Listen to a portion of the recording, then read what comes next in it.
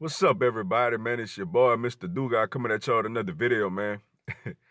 and today, man, I'm going to talk about last night's game, man. You had the Miami Heat beating the Milwaukee Bucks 94 to 87, man. You know, it was a game where we had a great first quarter and a great third quarter, man. You know, the first quarter, man, we held them to eight points for the whole first quarter. We had a 21 to 8 lead.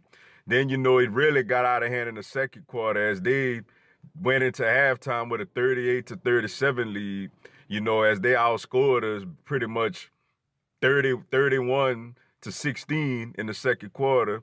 You know, we had another strong third quarter, you know, where we, we went up by a good bit.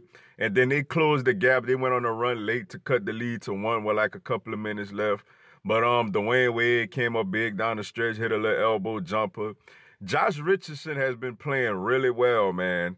Like we on a full game winning streak now, and a lot of it has to do with, you know, a little emerges out of Josh Richardson. You know, he's playing well on both sides of the floor. You know, he's scoring. He's been leading us in scoring. You know, he's been defending, which is something he's always done since he's been in the league. But now, you know, his offense is starting to come around a little bit, man.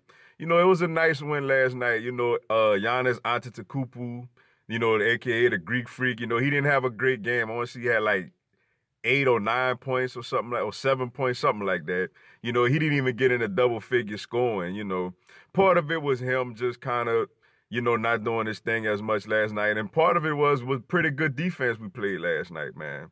You know, it was a nice win, man, against one of the better teams in the Eastern Conference at home, man.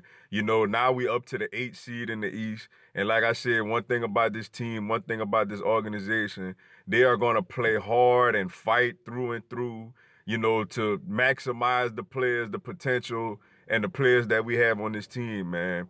But um, nice win for my Heat last night, man. Full game winning streak. Currently the eighth seed in the Eastern Conference, man. But um, but with that being said, man, um, that's all I got for y'all today. Appreciate y'all checking out the video. Go and give me a subscribe, man. I'm gonna have Miami Heat content throughout the season. Y'all have a blessed one.